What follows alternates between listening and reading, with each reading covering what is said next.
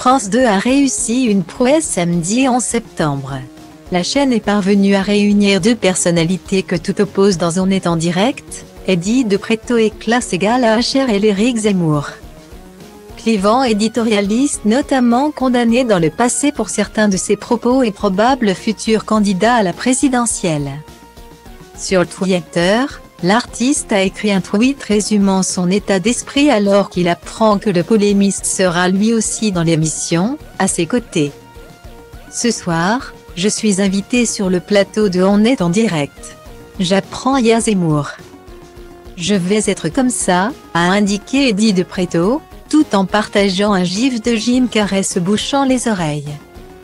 Tiré du film comique du Mendembe un tweet largement partagé sur les réseaux sociaux. Eddie de Preto était sur le plateau de France 2 pour faire la promotion de deux nouveaux titres.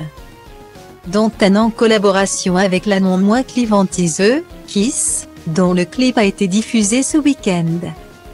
Homosexualité, masculinité, féminisme, folle soirée, bonheur L'artiste explore de nombreux thèmes qui ne plaisent guère à Eric Zemmour qui assume son côté réactionnaire, dans ses chansons.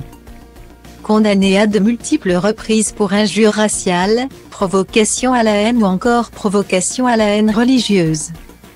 L'éditorialiste phare de CNEWS est crédité pour l'heure de 7% d'intention de vote dans les derniers sondages.